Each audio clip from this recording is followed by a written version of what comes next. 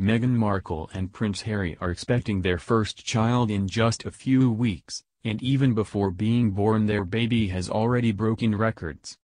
Meghan and Harry announced they were expecting their first child in October 2018, five months after their wedding. The royal baby has excited fans, with many keeping a keen eye on Meghan's growing baby bump. Kensington Palace has released only a few details, one being that the Sussex baby is due in the spring of 2019. These few details from the palace have triggered something of a betting frenzy.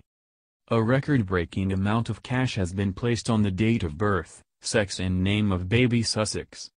The couple's first child, who is due to arrive around April time, has caused punters to spend a staggering amount on bets. According to betting intelligence website bookmakers.tv bookies predict more than £8 million spent on bets on the new royal baby.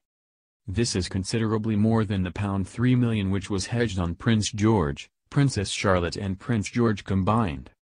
Company spokesperson Philip Tramp told The Mirror, Meghan and Harry's popularity is off the charts and their good news will send the public into a royal betting frenzy of epic proportions.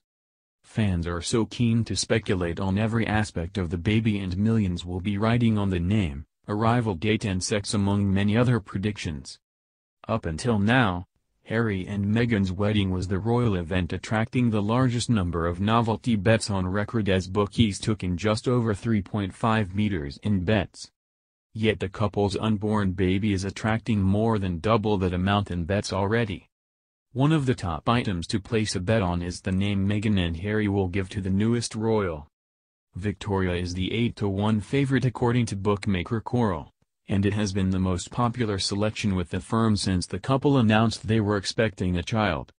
Albert is the shortest-priced boy's name at 10-to-1 in the betting, Diana and Philip are also both 12-to-1, while Alice and Arthur can be backed at 14-to-1.